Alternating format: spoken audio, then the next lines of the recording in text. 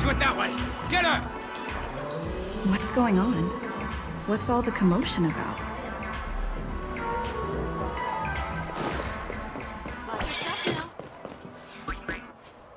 Don't even think about running away. You stowaway.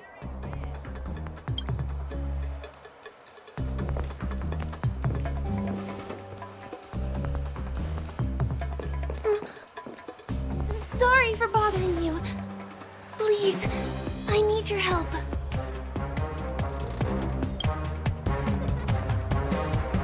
Hey, look! She has an accomplice. Ha! Good work! Now we can nab them both in one go.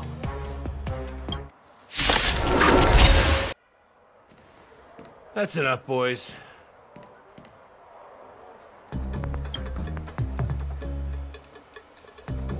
Uh, sir, sir. What's gotten into you all? Open your eyes and take a good look. Is this lady the stowaway we're looking for? Huh? Who... Who's this? Don't you know him? Look at his brown hair and grey vest. Ah, he's the officer, sent here by the family to maintain order at the Charmony Festival. I see. Sir, the thing is, we're trying to apprehend a stowaway. And that young lady there looks very suspicious. We're sure she's the one. That's nonsense. Take another look, will ya? The witness report says that the suspect is a lad with silver hair, and you guys are going after a girl with silver hair. Does that even make sense? She's our guest. Well, just get out of my way and I'll take care of this. Yes, sir.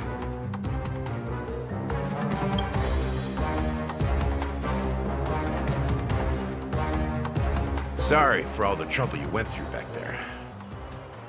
I'm Gallagher from the Bloodhound family, and those idiots are some young Bloodhounds I've been training.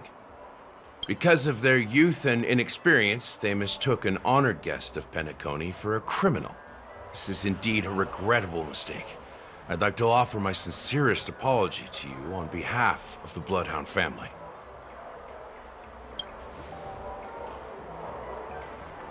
The Bloodhound family are guards of the Dreamscape. We're in charge of security here, and our duties include arresting people who try to enter our world illegally. We got a tip that some criminals were planning to take advantage of the festivities around the Charmony Festival to sneak into Penacony. Now that the festival is just around the corner, there are likely many shady characters lurking around. Don't worry. I believe this is just a misunderstanding. How could such a lovely girl like you be a stowaway? Thanks. Without your kind help, I wouldn't know what to do. Just part of the job. I need to get going. If you need help, you can reach out to me through the young bloodhounds in this area. I wish you an enjoyable experience in this land of dreams. I owe you big one. If it hadn't been for you, I might have been taken away by them. Thank you so much. By the way, I've just noticed. You're a nameless, right? Is this your first time here on Penacony? You have the Astral Express badge on you. I saw it on the big screen once. I also know that you guys often travel around different places in the cosmos. Did the family invite you here? Uh, I'd be happy to show you around. Although the Bloodhounds mistook me for a stowaway, I'm actually a local. My name is Firefly, and I'm from the Iris family. I work as a stage performer, although right now I'm just an extra. When there are no acting gigs, I work as a guide near Glocks Avenue. If you don't mind, I can show you all the exciting things around here. Maybe if I do my job as a guide, people will stop suspecting me. Glad to hear that.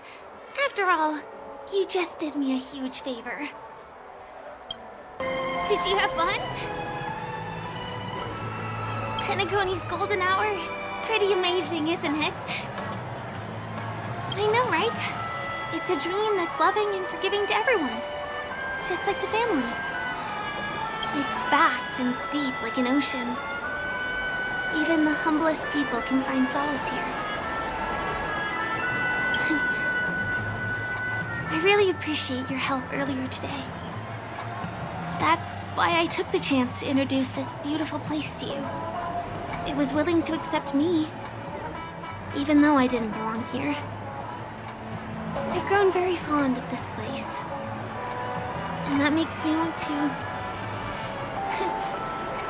share it with others. I am. At least for now.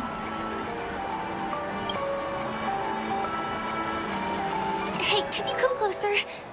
Closer, please. I have a question for you. Did you travel here alone?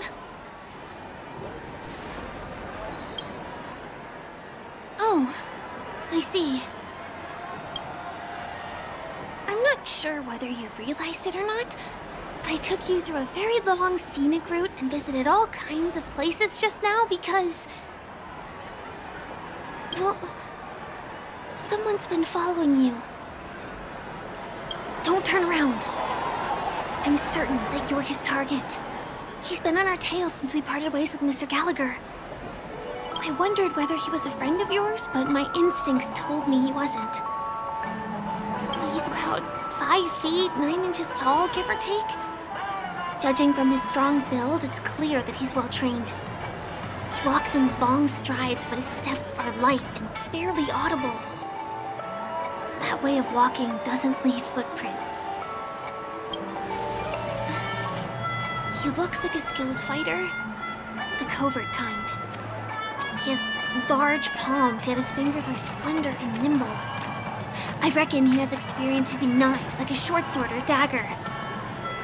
Do you know anybody like that? Maroon jacket, emerald eyes, dark blue hair. Ah, he's coming our way. Hey, well, if it isn't my most loyal customer, the Trailblazer Girl. It's been such a long time, old friend. What a coincidence to run into you here. Oh my, I'm in luck today. Yes, it's none other than your old friend, Sampo. You're surprised to see me? you know, it's thanks to you that I can be here. You helped Jarilo 6 open up to the outside. Um, this gentleman is?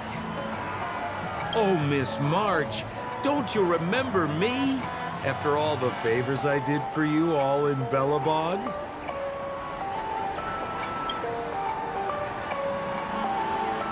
My name is Firefly. I'm a stage performer from the Iris family. Oh, no wonder. I was just thinking, there's no way Miss March could change her appearance so dramatically in such a short time. It's my pleasure to meet you. My name is Sampo, and I'm an old pal of hers. Ooh, seems like we're getting on the same wavelength now. Mr. Sampo, what's the purpose of your visit to Penacony? My purpose. You're funny. What else can I do in Penacony? Well, I just hang around, daydream, and do the things that anyone on vacation would do. Speaking of which, old pal, since fate brings us here, I'm obliged to give you a tour of this area. I've been watching you two for a long time. Miss Firefly does know Penacony well, but when it comes to entertainment for grown-ups, I think I can do much better. Entertainment for grown-ups? Looks like my analysis is spot on. Follow me, you two. Let me give you a taste of the adult world. Well, um, Mr. Sampo, Anything bothering you, Miss Firefly? Don't worry. This isn't going to involve anything illegal.